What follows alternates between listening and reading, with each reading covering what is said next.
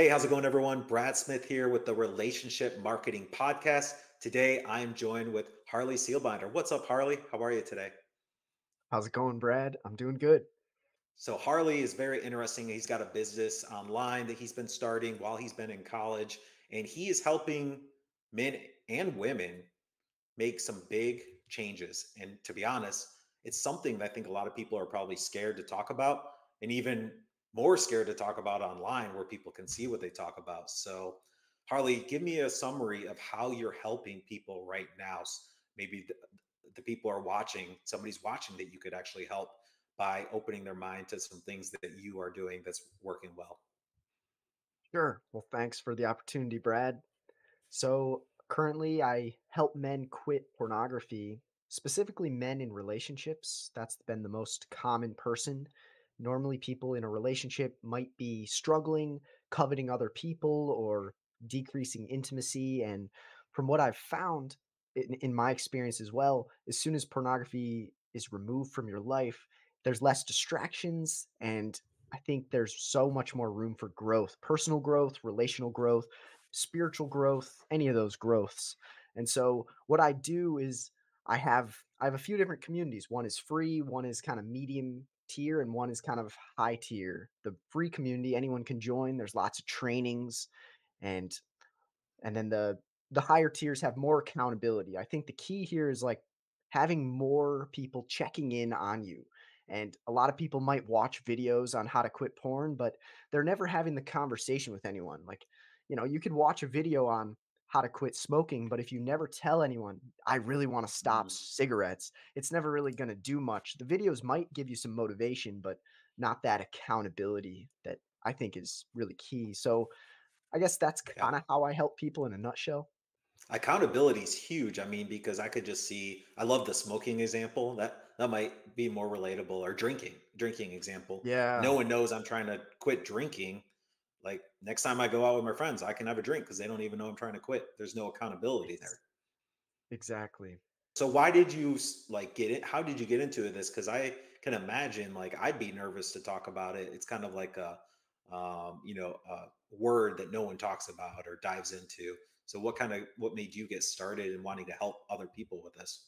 I wanted to first off, conf- well, be certain that it was something that I would not have to deal with anymore. It was something that it ruined my previous relationship pretty po- bad. Like it just it uh-huh. stained it. It made it so that I she could tell I wasn't very grateful for her because I was I was always scanning other women. It just kind of put me in this mode of like it's okay to covet other women. It's okay to well, not appreciate the woman in front of you and she actually broke up with me a year and a half ago because of it Therefore, I kind of hit rock bottom and.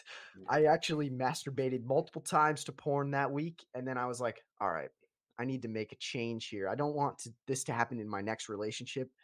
To me, like, I think a relationship is like one of the most important things. And it's like, I just went and tarnished it through my own actions. And it's like, I can change that. Therefore, let me start making some videos on it and let me see how I can help because there's so many men out there that struggle with it. And like you said, it's so taboo. And I've been making videos for a while and I'm always kind of a unique guy. So it's like, well, I'm just going to go for it. Full jump into the pool and I'm going to be that guy who can help.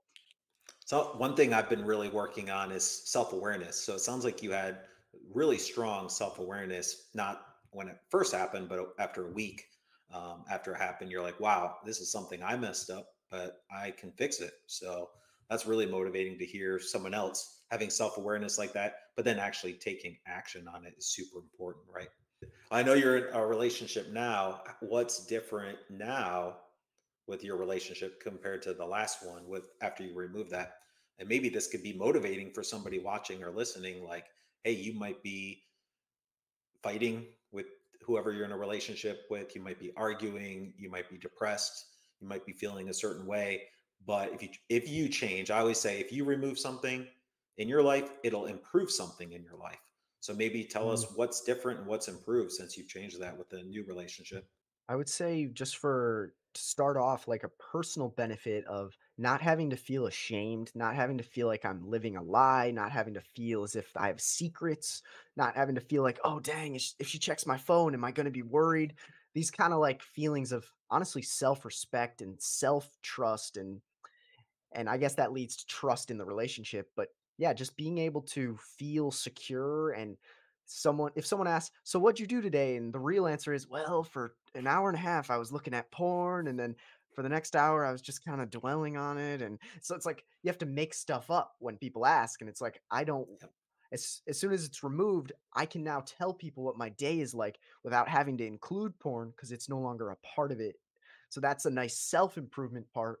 A nice relationship improvement is she has trust over me. And it's not because I'm so oh, so disciplined. It's honestly because I've built this community of guys that I meet with every single week. Like it's these guys that have joined my community and now it's like I have to be a good example.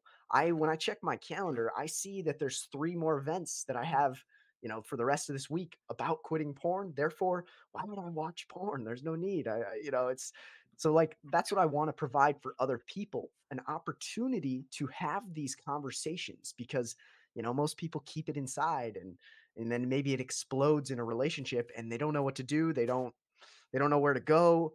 They feel alone it's just it's a horrible situation and so i think everyone is stronger together and that's why I, i'm such a huge fan of community connections i love this podcast name relationship marketing i think life is Yeah. all about relationships i, I love this so yeah Yeah. Wow, man, I, I'm so glad that you did that. And I love how you touched on the community part because you're right. Because if you were doing that and then trying to coach people not to do it, like I could imagine your business probably will never be successful or grow. Not that they know, but I just think the moral aspect of it is, you know, God's not going to let a business grow that's, you know, has sin in it anyway. So Mm, um, I think I think that's huge that you that community is helpful. Now, with the people that join your community, um, do you call them out? Like, are you like, "Hey, man, I know you messed up, like, but I got your back. Let's. How can we do this to improve it?" Are you pretty mm, open with them about that and making sure they're accountable every time you talk to them? that's a good question normally there's a bit of a form they can fill out like how their goals are going etc. And normally, if someone makes a mistake or relapses, it's not like this. Wow, you did a you did a bad thing. It's like obviously he did. Let's figure out the root. Like, let's try to understand why do you think this happened? Oh, today I was just uh, so irritated after work and I was just stressed out about a lot of things. My girlfriend said something annoying and I just I I needed to blow off some steam. And it's like, all right, you didn't like I'm not gonna condescend Everyone you for that. mistakes. Let's yeah, let's try to figure out, all right, next time you're a little heated at work and you're irritated from something at work, what can we do differently that could potentially set you up for a better solution, you know? Eh, Let's let's dive into what we could do better next time and you know, and props for even speaking out because, you know, I think so much of the solution is just self recognition, looking inward and being like, oh, it was it. I made this mistake because of this and this. Therefore, next time I'm feeling this way, let's try to engage in something else.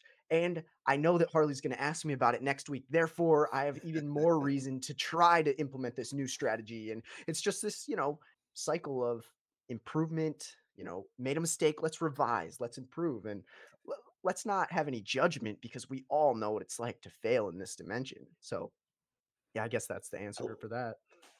I like that. So, okay, you messed up, but then you find out why they messed up. Now, and then you help them fix why they messed up so it doesn't happen again. It's like, oh, you messed up, don't do it again. But they messed up for a reason. So you're getting to Mm, the root of the problem. And, you know, I'm sure there's multiple times they mess up for different reasons. So maybe there's four or five different roots that you're helping them go cut those limbs off.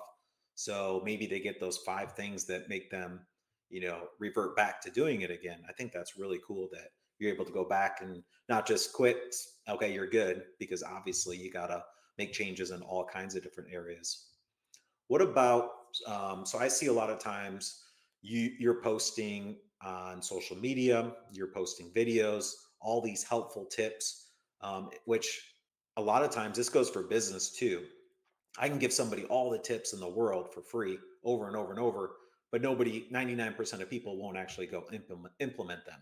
It's not until they Mm. join your community or pay for your service where now they're accountable. Now they're actually going to go um, make sure they follow through with that. What is some marketing and some some like what are you doing now that's working best for you to grow? We do have a lot of business owners that watch this and listen in.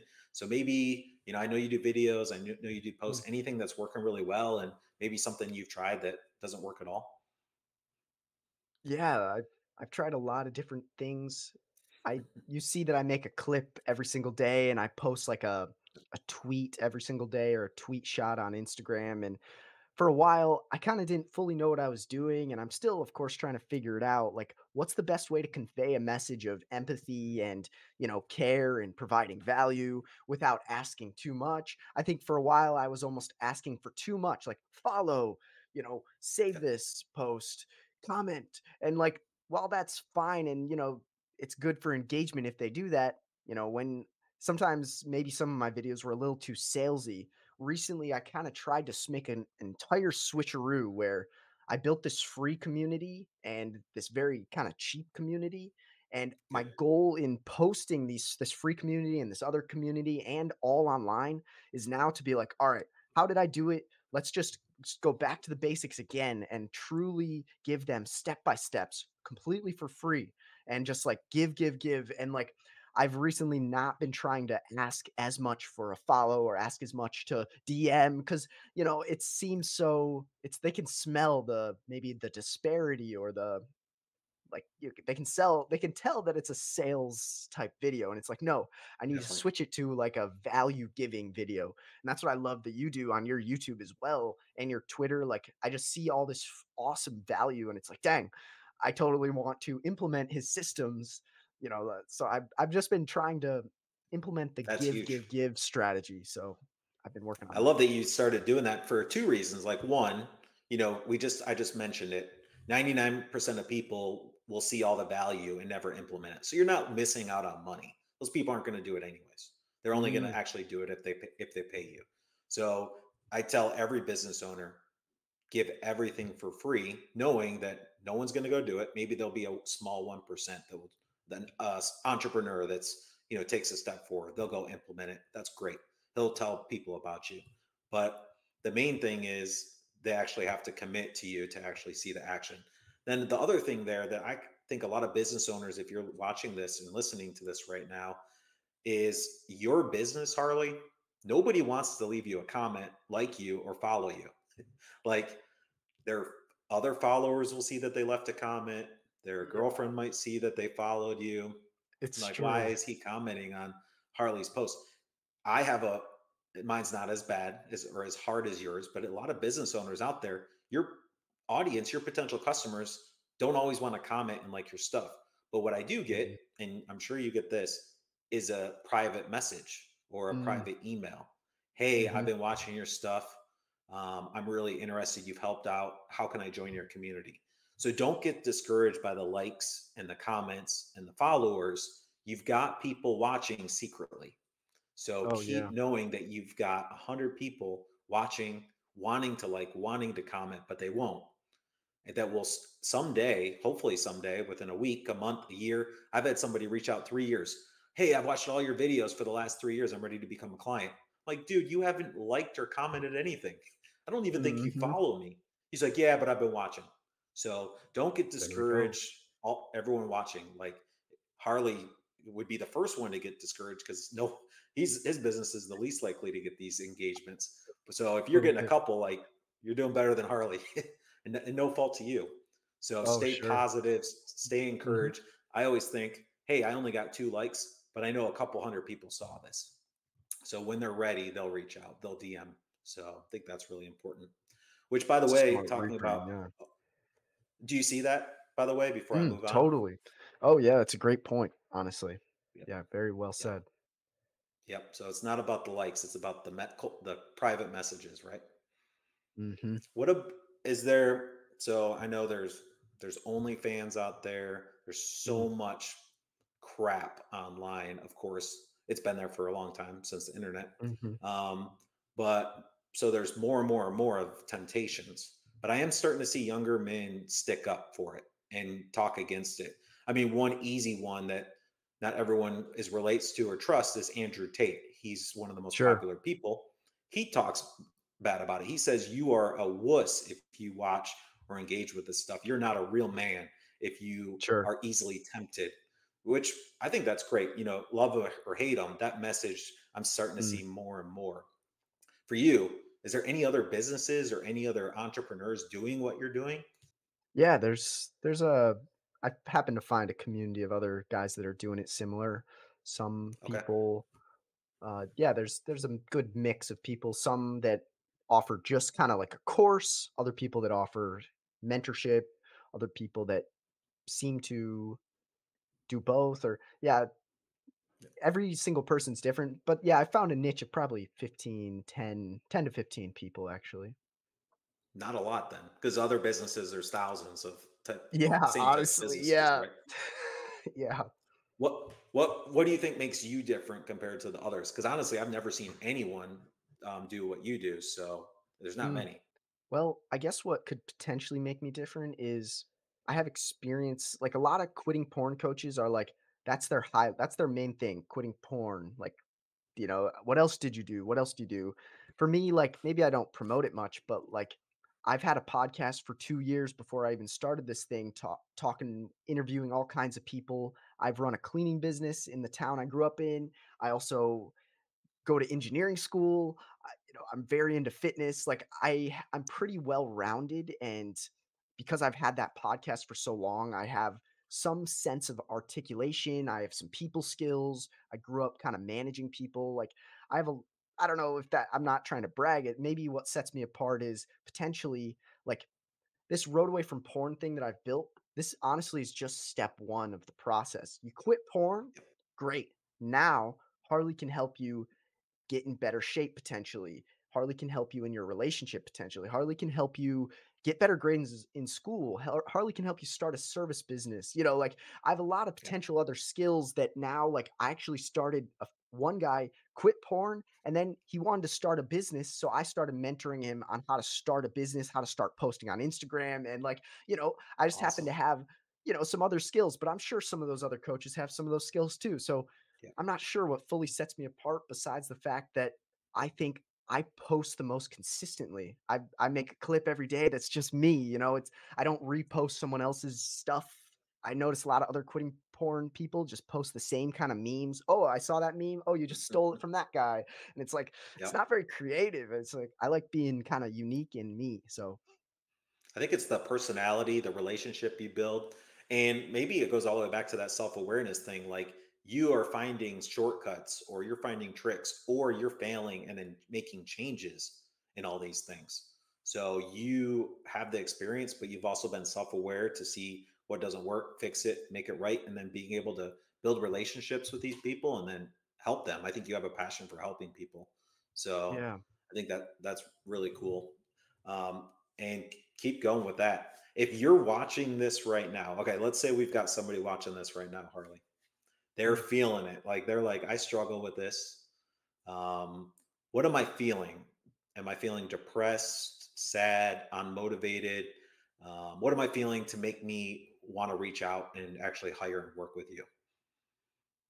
Yeah. I think the first thing you kind of have to do is do some introspection because like ask yourself like what are your real reasons for quitting like oh like i've talked with some people and then it's like we kind of get to the root and it's like well pornography isn't actually your main problem it's something else. Mm-hmm. But like diving in and trying to figure out asking yourself like the big why like why is pornography impacting you? Has it has it hurt your you know your physical self your your mental health your spiritual health? Has it has it well, how how has it impacted the people around you, you know? Start asking some questions like that, write them down, see what you think of the answers. Like if you think that, oh dang, this all these answers kind of do point to pornography being a big problem. All right, great. I'd say that's step 1. Uh I would say step 2 potentially is well, this is kind of like my classic framework. It's kind of figure out why you would want to quit, potentially write them Okay. down even record a video of yourself doing it. So then it's like kind of reality. Like, oh, I just made a video on my phone of all the reasons why I don't want to watch porn, why it's hurting me, why it's hurting other people. Now that you've done that, share it with someone. Whether it's me, you can totally Yep. fine, or share it with a trusted friend. Doing that alone can truly just give you that sense of power over that addiction. No longer is it just hidden in the back of your memory. It's now exposed, light is on it, etc. And you know, there's a lot of strategies that I could help you with potentially on once you understand why you want to quit. But I would just say, like, figure out your why. Like, why is it impacting you? And then share that with someone, you know? And if that is me, great. I, yeah. So I have a lot of different not tricks and tips. But go ahead. I didn't fully answer your question, I guess, but No, I think I didn't even get to the root of it, but why sh- it give me a summary or reason why somebody should quit. I think that maybe that's where we should have started is why should you quit? And then what do you do next? So you got what to do mm, next, but just give me like why should somebody quit? mm. It really honestly, it's not even a simple answer because I've noticed it's different for every person. A lot of some people have like deep, deep moral qualms with watching porn. Other people have almost none of that. They more are like, dang, I just don't like that I'm so un well productive because of pornography. It wastes so much of my time. Other people say, "Oh, I just I feel like it's pulling my time away from the gym." Some people say it's making me so depressed. Other people say I can't sleep at night because I need to jerk off to even fall asleep or, you know, it can really be I've seen so many reasons, you know, all kinds of reasons. One person's like, "I'm starting to become addicted to thinking about my sister," you know, or like all kinds of crazy stuff. So I Yeah. I guess Big Probably gets worse and worse and worse the more. yeah, it does. And so Oh, you don't have to share yeah, the go ahead. name. You don't have to share the name, but is there somebody that you can um, give us a quick summary of maybe that you've worked with that has Mm, changed and you've seen it um, come back and seen a difference? yeah. So there's this guy who joined the program right when it was kinda new. He was he had a fiance that was saying to him, "Hey, I need you to remove porn from your life, otherwise I can't marry you." And So he Good. decided to join my program, and within the first day of joining, he didn't even watch porn once because like it's like he finally decided to take that stand. Now he's he meets with Harley and a few of my other leaders each week and as soon as you join like my top tier road away from porn you have access t- for life for these meetings and so like i get to check in with him every week even if it's for a small amount of time because the community's grown i he can Yeah. just say to me like yeah man it's going so well the wedding is just about it, the wedding is now planned we're getting that all sorted out whereas before they were almost going to Awesome. call off the wedding because of it and so you know their relationship has improved and that just makes me really happy because i don't i wouldn't want anyone to fall into what i did a year and a half, 2 years ago. So that's an example, I guess. Man, that's huge. Congratulations. That probably makes you even more motivated to keep helping people. Yeah. Yeah, I might as well. All right. So you told me why I should quit. I'm feeling the feelings like I need to quit. Um, I'm private. I don't want to tell anyone or leave you a comment on your social media post, but I want to reach out and I need your help. Where should I go? And what, where are you the most active at on social media for me to start learning some of these tricks? So my Instagram is my most active platform. It's where I post the most amount of content and it's the easiest well at least it's one of the easiest features for DMing. I know Twitter's pretty easy too, but for me Instagram is the main thing I use. And what I do is if someone reaches out to me, I first off send them to my free community. Well, first off I ask them some questions. You know, why are you feeling this way? What are you struggling with specifically? Then I send them to the free community that I've built. It's on Skool, S K O O L. You've probably heard of it. So I have that community. And then I specifically send them trainings from that that specifically apply to their situation. And therefore, then they check it. Sometimes after that, they're like, dang, that might have solved my problem. And then maybe for a week or two, it worked. But then it, they kind of lost that motivation. Then they potentially can come to me again. But, you know, it just depends on the person. But sometimes people are like, I'm just ready to book that call and join your community. And so then, yeah, I guess the way into the big community is through a call with me and talking about Yep. plans and you know results and things like that. So yeah, I guess Instagram DM, joining my free community, that's a good way to just kind of learn about how I help people and hopefully just get a lot of value from it. So Yeah, and if you're watching or listening, don't at least give them one comment. Like give them a heart at least.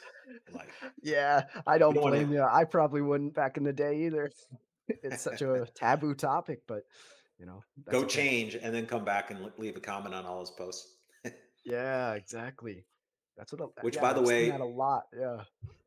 Exactly. yep, After they join, then they'll leave comments. Yep. go change. Go make a ch- go make one change. Right. If you remove something, it'll improve something. So um, you might no- not know what you're missing out on if you have that in your life. So why don't you try it? Mm, Um, by the way, we're on YouTube, we're on podcast. We are, we'll post this on our blog as well. So, Harley, I will put all your links below the video, the audio, the blog. So, if you're watching this, go check them out, give Harley a follow, leave him a comment, and um, reach out to him if you need help with this also.